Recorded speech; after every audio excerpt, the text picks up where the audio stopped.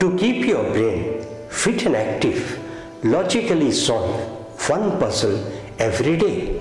You will be spending less than 10 minutes each day.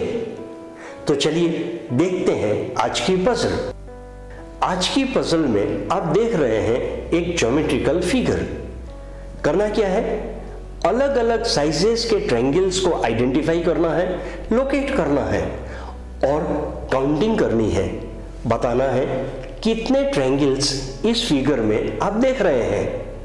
आप solution देखें, उसके पहले मेरा एक निवेदन है।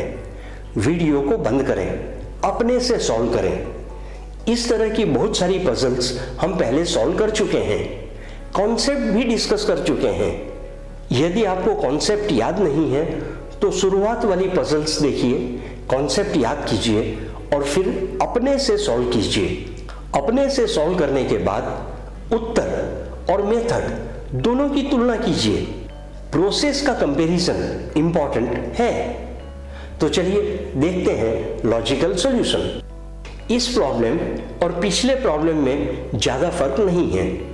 नंबर बढ़ गए फिगर बड़ा हो गया। मान लेते हैं सबसे छोटा इक्विलेटरल ट्रायंगल जो इस फिगर में है, उसकी साइड है एम ट्रायंगल होगा m into m into m का। सारे ट्रायंगल्स इक्विलेटरल है, समबाहु है।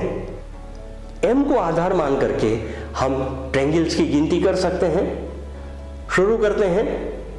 M into m into m nine plus seven plus five plus three plus one twenty five I am sure मैंने किस तरह से गिनती शुरू की, आपको समझ में आ रही होगी। इस तरह की system m into m into m में ज़्यादा महत्व नहीं रखती। लेकिन जब हम बड़े ट्रेंगल्स में जाएँगे, तब इस तरह की सिस्टम महत्वपूर्ण हो जाएगी।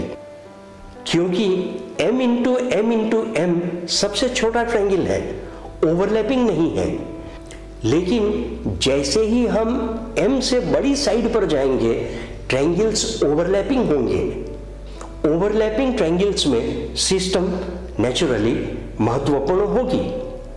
देखते हैं 2m m into two m into two m. Four plus three plus two plus one ten two m into two m into two m. Repeat करते हैं, क्योंकि ये ट्रायंगल्स इन्वर्टेड है, उल्टे डायरेक्शन में है।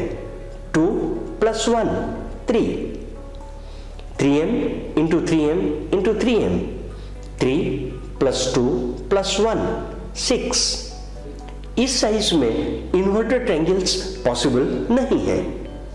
Next size 4m into 4m into 4m 2 plus 1 3 and finally, the overall size 5m into 5m into 5m 1 total 48 simple इस तरह की पजल सॉल्व करने से आपकी न्यूमेरिक एबिलिटी तो बढ़ेगी ही। साथ साथ विजुअल एबिलिटी का भी विकास होगा। लॉजिकल थिंकिंग का विकास तो होना ही है।